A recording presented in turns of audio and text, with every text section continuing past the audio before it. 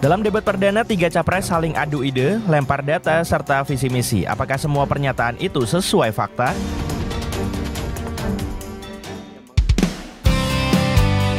Sempat berpacaran namun menikah dengan orang lain, para selebritas ini ternyata berjodoh dengan mantan kekasih.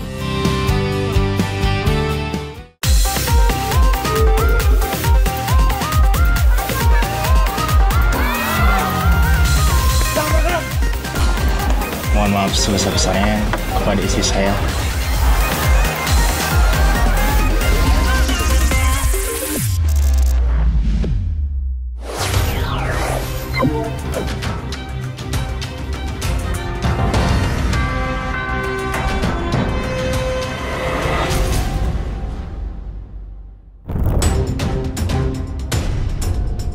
Debat perdana calon presiden yang bertemakan hukum, HAM, pemerintahan, pemberantasan korupsi, dan penguatan demokrasi telah sukses digelar. Dalam debat yang berlangsung panas itu, publik disuguhkan dengan panggung adu ide, lempar data, serta visi misi capres yang disampaikan dengan gaya khas masing-masing. Namun apakah data-data dan pernyataan yang disampaikan para capres sesuai fakta?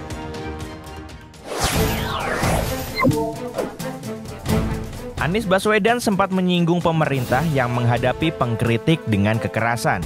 Ada ribuan milenial, generasi Z, yang peduli pada anak-anak bangsa, yang peduli pada mereka yang termarginalkan.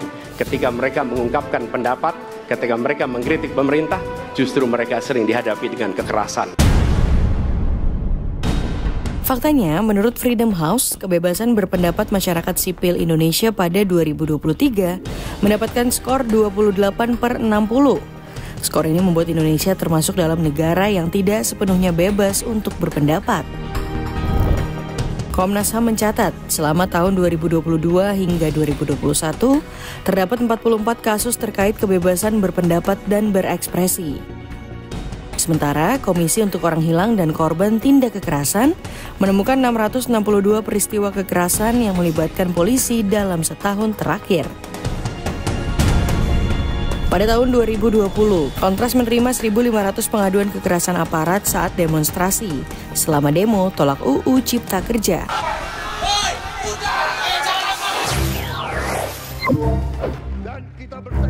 Dalam paparannya, Prabowo Subianto menyatakan Indonesia merupakan negara yang aman dan damai.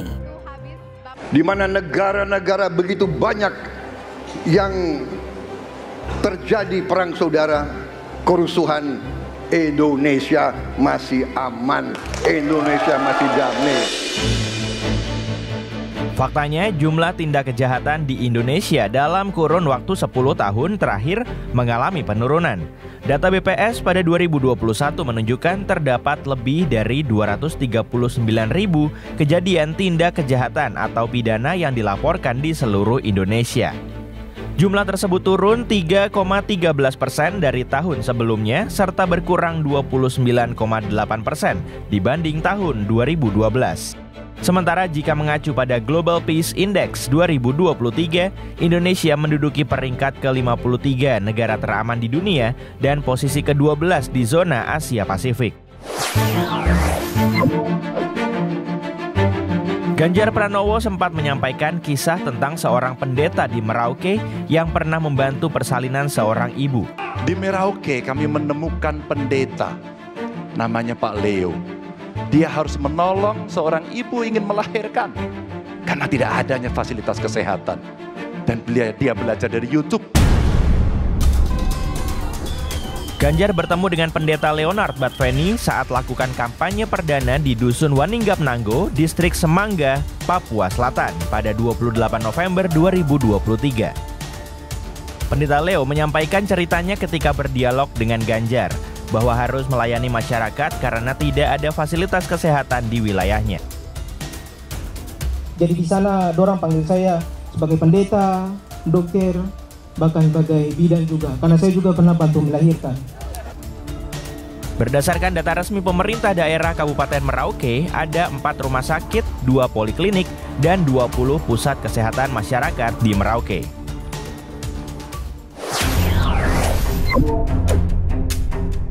Terkait indeks demokrasi Indonesia dan kebebasan berbicara, Anies menyebut ada penurunan. Kita menyaksikan bagaimana kebebasan berbicara menurun, termasuk mengkritik partai politik.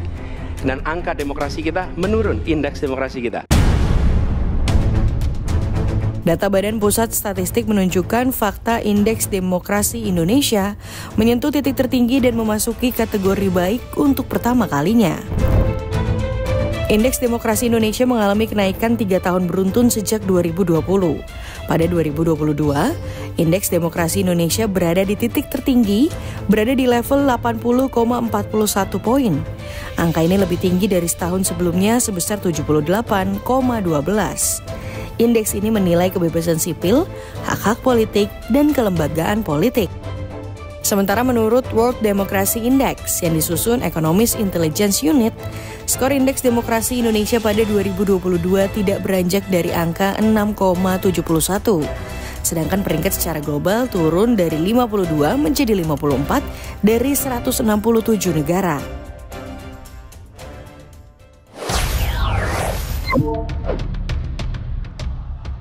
Calon Presiden nomor urut 2 membawa nama Jokowi saat ditanya soal kasus kekerasan dan HAM yang meningkat di Papua. Dan Presiden Joko Widodo adalah presiden di Republik Indonesia yang paling banyak ke Papua. Paling banyak ke Papua. Kalau tidak salah sampai hari ini beliau sudah lebih dari 19 kali ke Papua.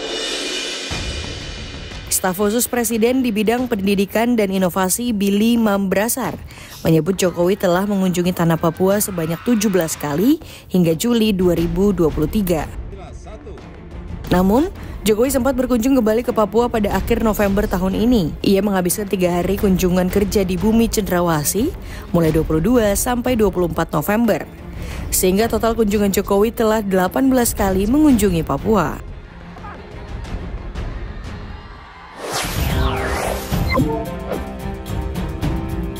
Ganjar menyentil kerugian negara akibat korupsi mengutip data dari Indonesia Corruption Watch. Data ICW menunjukkan sekitar 230-an triliun dalam 10 tahun terakhir kerugian negara itu terjadi. Laporan diterbitkan Indonesia Corruption Watch total kerugian negara akibat korupsi dalam 10 tahun terakhir yakni mencapai 209,32 triliun rupiah. Data ini dikumpulkan ICW dari tren vonis kasus korupsi sejak 2013. Dalam kurun waktu 2021, ICW menyebut kerugian negara sudah mencapai 62,9 triliun rupiah, meningkat 10,9 persen dibanding tahun sebelumnya. Angka ini merupakan yang terbesar dalam lima tahun terakhir.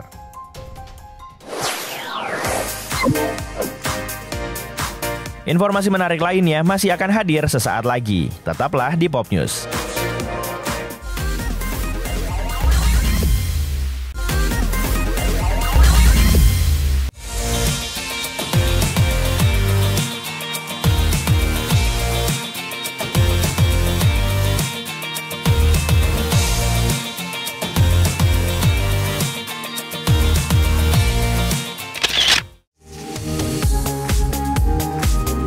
Kembali ke pelukan mantan, mungkin itu kata yang tepat bagi para pasangan artis ini. Sempat berpacaran namun menikah dengan orang lain, para selebritas ini akhirnya memilih untuk kembali ke kekasih mereka yang sebelumnya. Lalu siapa saja para artis yang berjodoh dengan mantan kekasih? Berikut informasinya.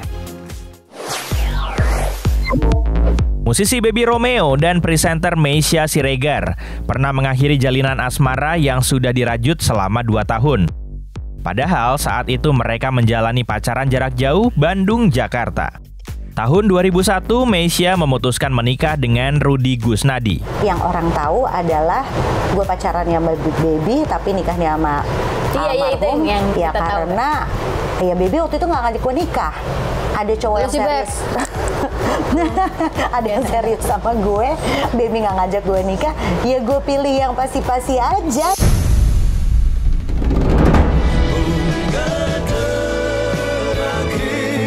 Patah hati, Baby lalu membuat sebuah lagu berjudul Bunga Terakhir sebagai ungkapan perasaan sedihnya.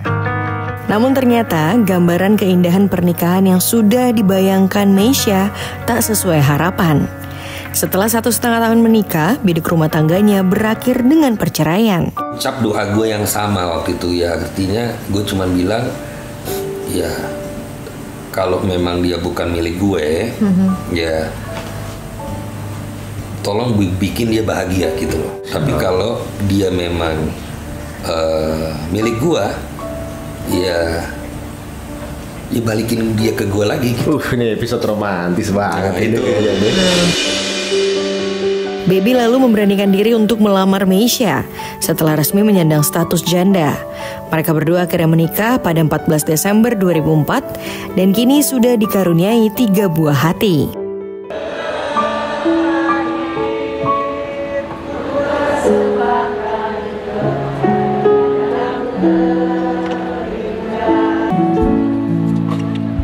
Ada dua orang yang sangat-sangat spesial dalam hidup saya yang hadir di malam ini.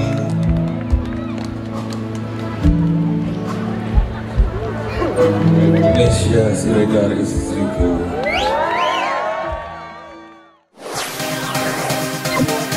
Pasangan beda profesi Sisi Prisilia dan Rifat Sungkar pertama kali bertemu pada November 2007 yang kemudian merajut kasih hingga berpacaran. Dua tahun menjalin kasih, Rifat dan Sisi lalu putus. Pada 30 Mei 2009, Rifat memutuskan menikah dengan wanita lain bernama Amalia Gamila. Hal tersebut membuat Sisi patah hati dan mengasingkan diri ke Bali. Namun ternyata, empat bulan setelah menikah, biduk rumah tangga yang dibangun Rifat dan Gamila tak bertahan dan berujung perceraian.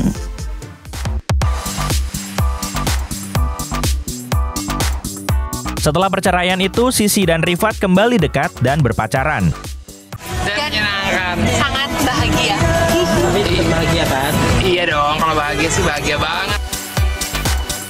Tidak berlangsung lama, akhirnya pada 10 Juli 2010, keduanya resmi menikah. Kakak dari Vanessa Presila ini kini mempunyai dua anak, Mikairo Rile Sungkar dan El Maika Rifat Sungkar. Ingat, aku ingat bisa ingat terus tuh adalah Rifat selalu bilang membangun keluarga bahagia tuh lebih penting daripada apa pun. Jadi yang bisa mengingatkan uh, aku dan Rifat tuh ya itu lagi maksudnya mau segimanapun ya tadi aku bilang segimanapun sakitnya ya udah segimanapun susahnya ya kita harus transparan harus ngomong karena tujuan kita adalah membangun keluarga yang bahagia dan untuk mendapatkan sesuatu yang membahagiakan yang menyenangkan kan nggak segampang itu.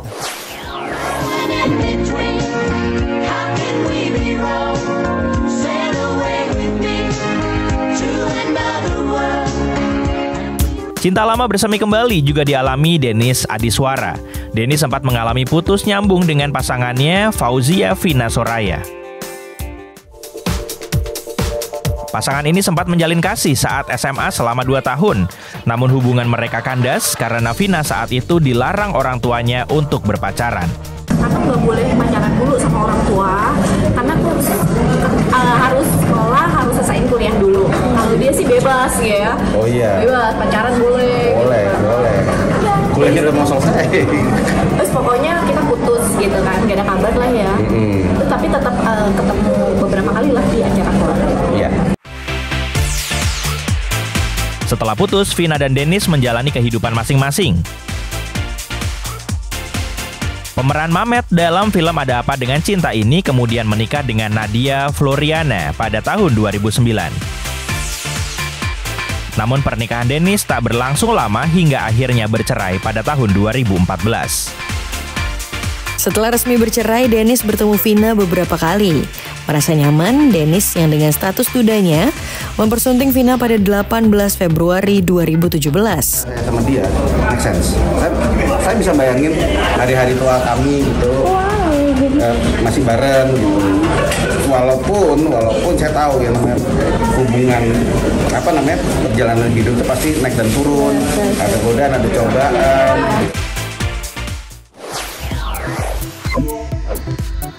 Artis Nia Zulkarnain dan Ari Sihasale pernah berstatus kekasih dan menjalin hubungan yang cukup lama, meski harus kandas karena perbedaan keyakinan. Setelah putus, Nia Zulkarnain sempat membina rumah tangga dengan pembalap bernama Alexander David Siahaan pada tahun 1998. Namun pernikahan mereka hanya berlangsung 4 tahun karena suami Nia meninggal akibat kecelakaan saat latihan pada tahun 2002. Sempat menyandang status janda selama setahun, putri dari pasangan Diki Zulkarnaen dan Mika Wijaya ini kembali bertemu dengan Ari Sihasale. Mereka pun menikah pada 25 September 2003 di Perth, Australia. Mereka memutuskan menikah dengan status berbeda keyakinan. Lebih dari 17 tahun menikah, mereka selalu terlihat mesra di setiap kesempatan. Sementara itu, meski belum sempat ditinggal menikah oleh mantan kekasih, namun sejumlah pasangan ini juga sempat putus hubungan meski akhirnya kembali untuk menikah.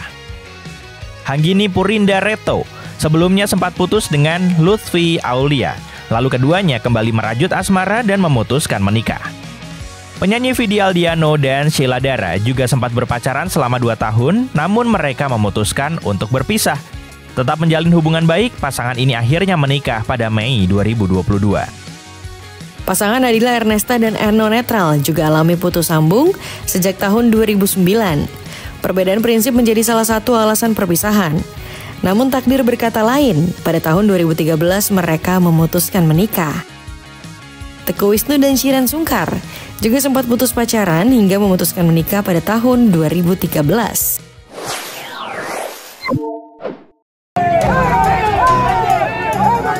Informasi menarik lainnya masih akan hadir sesaat lagi. Tetaplah di Pop News.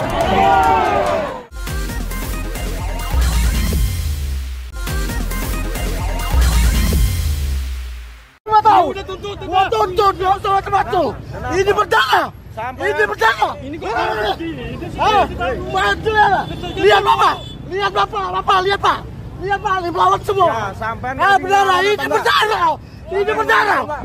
Sopir taksi online ini mengamuk dan menuding petugas dishub bersikap arogan karena memukulnya. Mobil hancur ya. Mobil hancur. Gak usah, gak usah. Gak tahu, gak tahu. Hah? Gak tahu tuh. Keributan ini terjadi akibat pengemudi mencoba kabur saat akan dirazia. Namun gagal lantaran dihalangi mobil derek petugas. Kejadian ini terjadi di kawasan Pasar Tanah Abang, Jakarta Pusat. Bukti bukti Ah, saksi banyak, saksi banyak. Ah, saksi banyak. Gak usah.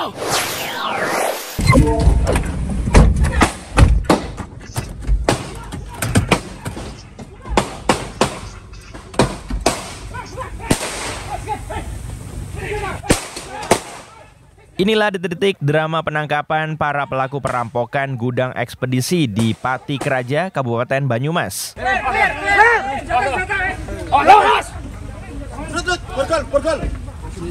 Polisi berhasil menyergap para pelaku yang tengah melarikan diri di jalan raya di wilayah Kendal, Jawa Tengah. Tangannya di belakang, tangannya. Di belakang.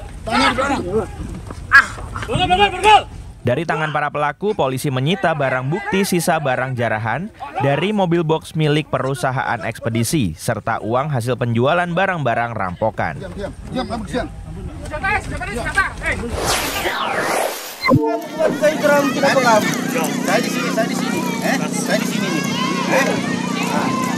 Anak buah kapal motor Pajeko ini ditemukan dalam kondisi selamat oleh warga desa Buang-Buang setelah pencarian selama seminggu.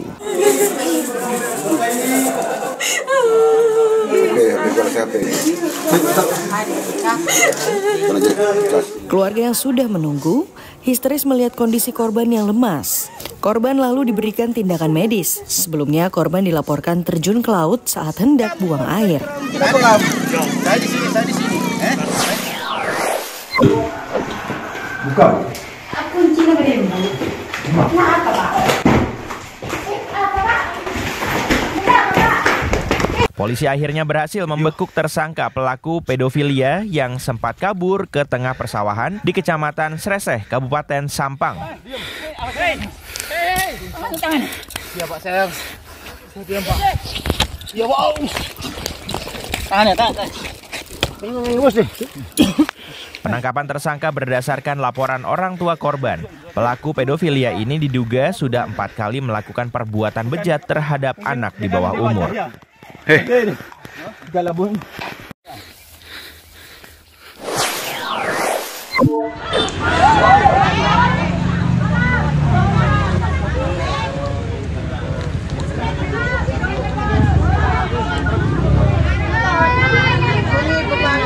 Inilah detik-detik tiga pengedar narkoba ditangkap di pinggir Jalan Raya Soko Benah, Sampang. Salah satu yang ditangkap masih di bawah umur.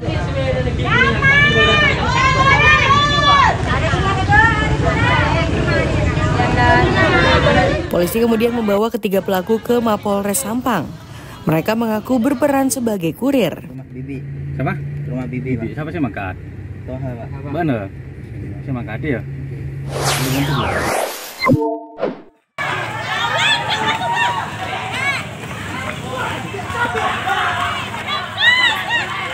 Warga yang emosi ini mengeroyok dua pencuri sepeda motor di desa Cikeleng hingga salah satunya terluka parah dan tak sadarkan diri, warga juga menghancurkan motor pelaku.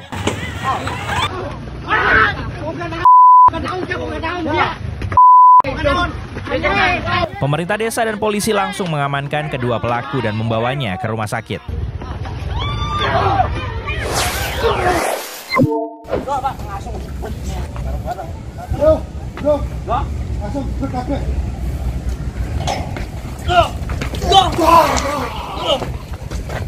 Pria diduga ODGJ ini mengamuk dan mencoba masuk ke dalam Mapolres Klaten. Besar Indonesia Raya Merdeka. Pangeran satu Sunario Joko Cahyono. Usai disergap dan memborgolnya, pria ini dibawa ke rumah sakit daerah Sujawardi, Klaten. Pagi gitu pak, pagi kayak gitu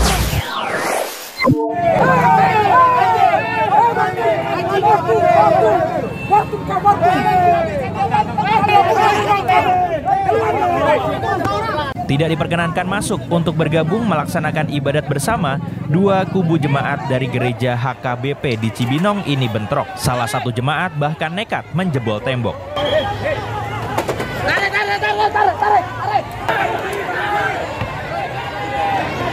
Tak hanya saling ejek, kedua kubu melempar batu. Satu orang yang dianggap sebagai provokator akhirnya diamankan.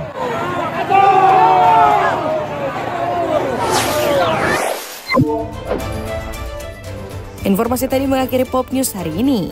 Jangan lupa tetap saksikan Pop News setiap hari Sabtu dan Minggu pukul 9 lewat 30 menit waktu Indonesia Barat. Tentunya hanya di Kompas TV. Terima kasih dan sampai jumpa.